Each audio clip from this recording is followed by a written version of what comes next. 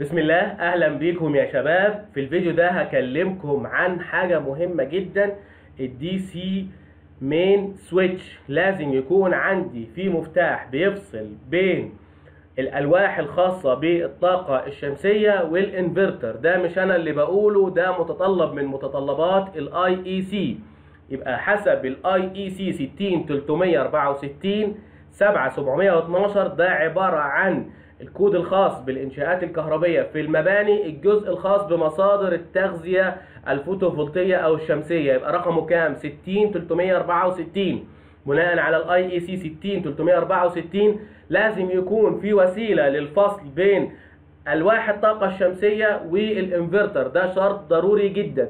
ده بيسر عليا أو بيسهل لي إن أنا أعمل عملية الصيانة إن أنا لازم لما أجي أعمل صيانات في ال system أفصل ال DC generator اللي هي الألواح عن الإنفرتر واشتغل براحتي عشان أعرف أحدد العطل بسهولة.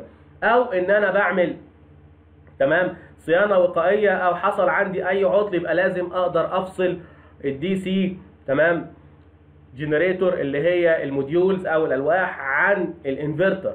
في عندي حالتين يا شباب في السوق هتلاقوهم. يا إما في عندي إنفرتر يوجد داخله تمام main DC switch تمام؟ وده في بعض الانفرترات يبقى ده عاكس يحتوي على فاصل مفتاح داخل الانفرتر تمام؟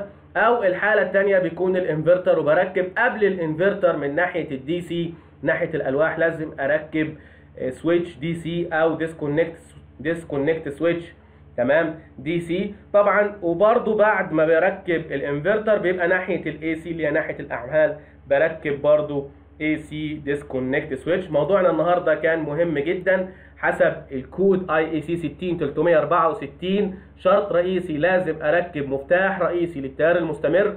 أقدر أفصل بيه بين ألواح الطاقة الشمسية وبين مين؟ وبين الإنفرتر.